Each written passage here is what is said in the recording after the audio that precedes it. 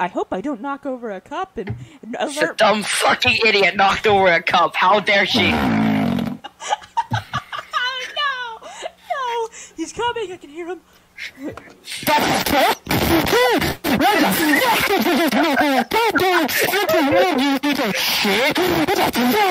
Boss, please, it's been 25 years.